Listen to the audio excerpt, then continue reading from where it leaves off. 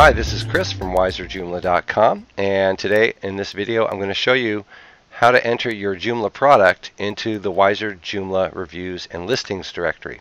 So what you want to do is if you have books or Joomla software or virtually any product that is directly related to Joomla or Joomla development, what you want to do is go along the right here, you'll see Get Listed.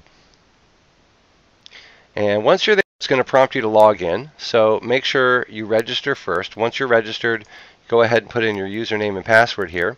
And it's going to take you to the Add New Listing page with submission instructions.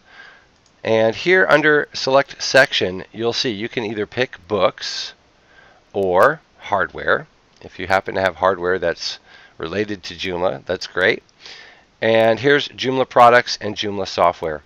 So let's just say you have a piece of software that you want to sell that's related to Joomla.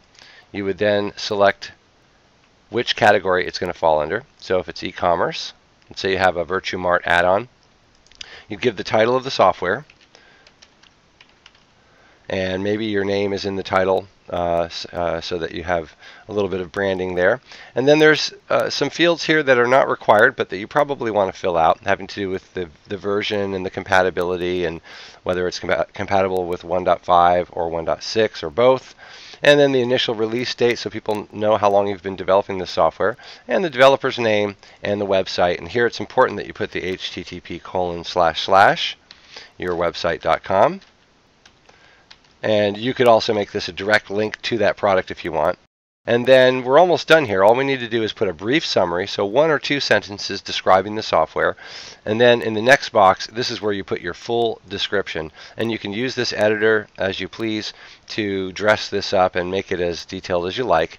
And then all you need to do is upload an image either of your logo or of the product that you're entering in, and then hit submit. So that's it. We hope that you'll uh, come back to our site and put as many products as you wish to sell and advertise on WISRjoomla.com.